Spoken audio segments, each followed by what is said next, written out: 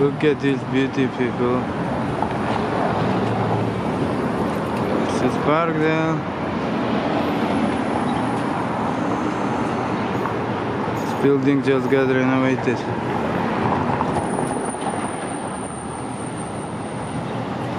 Streets of Parkdale, baby.